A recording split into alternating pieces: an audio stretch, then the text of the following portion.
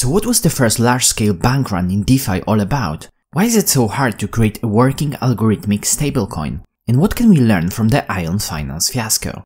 You will find answers to these questions in this video. Before we begin, if you want to learn more about decentralized finance and the technology behind it, make sure you subscribe to my channel, hit the bell icon, and enable all notifications. You can also consider supporting us on Patreon and joining our DeFi community on Discord.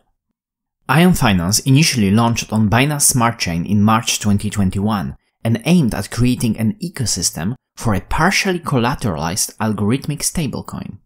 As we know, building algorithmic stablecoins is hard. Most projects either completely fail or end up in a no man's land by struggling to maintain their peg to the US dollar. Because of this, building an algorithmic stablecoin has become one of the holy grails in DeFi.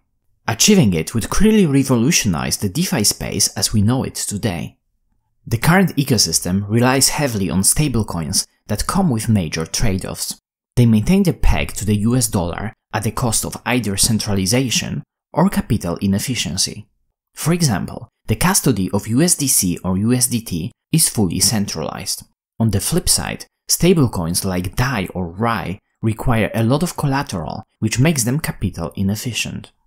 Iron Finance tried to address these problems by creating a partially collateralized stablecoin, Iron. Despite a few hiccups along the road, such as short periods of time when Iron unpegged from USD, or when value DeFi exploits affected some of the Iron Finance users, the protocol kept marching forward. In retrospect, recovering from these issues most likely built a false level of confidence in the protocol design, as its users thought they were dealing with a battle-tested project. In May 2021, Iron Finance expanded to Polygon and started gaining more and more traction. Total value locked in the protocol quickly went from millions to billions of dollars, surpassing 2 billion before the final collapse. The value of Titan, protocol's native token on Polygon, went from $10 to $64 just in the last week leading to the bank run. This parabolic growth was mostly driven by extremely high yield farming rewards and subsequent high demand for both the Titan and the Iron tokens. Yield farmers were able to benefit from around 500% APR on stablecoin pairs Iron USDC and around 1700% APR on more volatile pairs like Titan Matic. To add even more fuel to this parabolic growth, Iron Finance was mentioned by a famous investor, Mark Cuban, in his blog post. This further legitimized the project and brought even more attention to it. On the 16th of June 2021, the protocol experienced a massive bank run that crashed the Titan price to zero and resulted in thousands of people experiencing major financial losses. Before we start unfolding all of the events that led to the collapse of Iron Finance, Let's try to understand how the protocol was built. It's worth noting that reviewing the design of projects, including the ones that failed, is important as it allows us to better understand what works and what doesn't work in DeFi. It also makes it easier to assess new protocols that very often reuse a lot of elements of the already existing systems. The Iron Finance protocol was designed around three types of tokens. Its own partially collateralized stablecoin, Iron, that should maintain a soft peg to the US dollar, its own token, Titan on Polygon and Steel on BSC, an established stablecoin used as collateral, USDC on Polygon and BUSD on BSC. The combination of USDC and Titan on Polygon and BUSDC and Steel on BSC was supposed to allow the protocol to decrease the amount of stablecoin collateral over time and in turn making Iron partially collateralized leading to a greater capital efficiency. The protocol, although using different tokens on Polygon and BSC, worked in an analogous way on both platforms, so in order to simplify this video going further, I'm going to skip the BSC tokens, BUSD and Steel in the explanation. In order to achieve price stability of the IRON token, the protocol introduced a mechanism for minting and redeeming IRON that relied on market incentives and arbitrageurs. Whenever the price of the IRON token was less than $1, anyone could purchase it on the open market and redeem it for approximately $1 worth of value paid in a mix of USDC and Titan. Whenever the price of the IRON token was greater than $1, anyone could mint new IRON tokens for approximately $1 worth of USDC and Titan, and sell the freshly minted IRON tokens on the open market, driving the price of IRON back to $1. To understand the process of minting and redeeming better, we have to introduce the concept of target collateral ratio, TCR, and effective collateral ratio, ECR. Target collateral ratio is used by the minting function to determine the ratio between USDC and Titan required to mint IRON. As an example, let's say the TCR is at 75%. In this case, 75% of collateral needed to mint IRON would come from USDC and 25% would come from Titan. The protocol started at 100% TCR and gradually lowered the TCR over time. TCR can increase or decrease depending on the IRON price. On one hand, if the time-weighted average price of IRON is greater than $1, TCR is lowered. On the other hand, if the time-weighted average price of IRON is less than $1, the TCR is increased. Effective collateral ratio is used by the redeeming mechanism to determine the ratio between USDC and Titan when redeeming IRON. ECR is calculated as current USDC collateral divided by the total IRON supply. If TCR is lower than ECR, the protocol has excess collateral. On the flip side, if TCR is higher than ECR, it means the protocol is under-collateralized. As an example, if the ECR is at 75%, each time IRON is redeemed, the user would get 75% of their collateral back in USDC and 25% in Titan. What is important is that every time someone mints IRON, the Titan portion of collateral is burned. If someone redeems IRON, new Titan tokens are minted. As we can see, the whole mechanism, although a bit complicated, should work, at least in theory. Now let's see how the events leading to the collapse of IRON Finance unfolded. But before we do this, Finematics is participating in round 10 of Gitcoin grants, where even the smallest contribution matters, thanks to the quadratic funding mechanism. If you enjoy our videos and would like to support the channel, check out the link in the description box below. Let's get back to the video.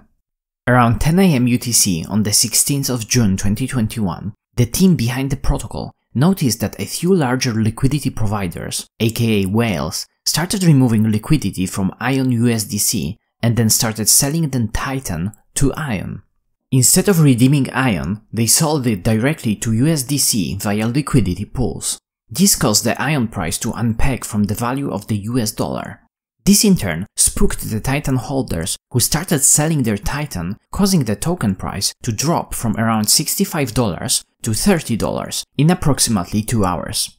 The Titan price later came back to $52 and IRON fully recovered its peg. This event, although quite severe, wasn't that unusual considering that the protocol had a history of native tokens sharply dropping in value and IRON unpegging for a short period of time. Later on the same day, a few whales started selling again. This time, it was different. The market panicked and users started redeeming IRON and selling their Titan in masses. Because of the extremely quick and sharp drop in the Titan price, the time-weighted price oracle used for reporting Titan prices started reporting stale prices that were still higher than the actual market price of Titan. This created a negative feedback loop, as the price oracle was used to determine the number of Titan tokens that have to be printed while redeeming IRON. Because IRON was trading off peg at under $1, the users could buy IRON for let's say 90 cents and redeem it for 75 cents in USDC and 25 cents in Titan and sell Titan immediately. This situation created a death spiral for Titan that drove its price to pretty much zero as the lower the Titan price was, the more Titan tokens would have to be printed to account for the correct amount of redeemed capital. The Titan price hitting almost zero exposed another flaw in the protocol, users being unable to redeem their IRON tokens. This was later fixed by the team, and users were able to recover around 75 cents worth of USDC collateral from their IRON tokens. Unfortunately, Titan holders didn't get away with only a 25% haircut and instead took heavy losses. This also included Titan liquidity providers. This is because when one token in a 50-50 liquidity pool goes to zero, the impermanent loss can reach pretty much 100%. Liquidity providers end up losing both tokens in the pool as the non-Titan token is sold out for Titan that keeps going lower and lower in value. This situation exposed a major flaw in the Iron Finance mechanism that resulted in what we can call the first large-scale bank run in DeFi. Similarly to banks with fractional reserve systems, when there are not enough funds to cover all depositors at any one time, the Iron Finance protocol didn't have enough collateral to cover all minted Iron. At least not when the Titan tokens used as 25% of the overall collateral became worthless in a matter of minutes. The Iron Finance fiasco also shows us why DeFi protocols shouldn't fully rely on human coordination, especially when under certain circumstances incentives work against the protocol. In theory, if people just stop selling Titan for a short period of time, the system would recover as it had previously done in the past. In practice, most market participants are driven by making a profit, and the arbitrage opportunity present in the protocol caused them to fully take advantage of this situation. This is also why all DeFi protocols should always account for the worst case scenario. As with most major protocol failures in DeFi, there are always some lessons to be learned. In the case of Iron Finance, there are a few important takeaways. First of all, we always have to consider what would happen to the protocol in the worst case scenario. This usually involves one of the tokens used in the protocol sharply losing its value. What happens when the protocol stops expanding and starts contracting? What if the contraction is way quicker than expansion? Another important element of the protocol design that always has to be fully understood is the usage of price oracles. Could they report stale prices or get manipulated by flash loan attacks? If so, what basic protocol mechanisms rely on these oracles and how would they behave when the oracle is compromised? Next lesson. Providing liquidity in a pool where at least one asset can drop to zero means that we can lose pretty much all of our capital, even if the second token doesn't lose any value. Another lesson. Following celebrities and their investments might be risky. With great power comes great responsibility, and unfortunately, even a single mention of a certain protocol or a token can cause people to invest in something they don't fully understand. Don't be that person and always make sure you do your own due diligence. One good indicator of high-risk protocols is extremely high APR in yield farming. If something looks too good to be true, there are usually some risks that have to be accounted for. Last but not least, building algorithmic stablecoins is hard. I hope one day we can see a fully functioning algorithmic stablecoin competing in size with USDT or USDC, but this will most likely take a bit of time and hundreds of failed attempts. If you want to become an early adopter of such a coin, it's great, but keep in mind that the numbers are not on your side.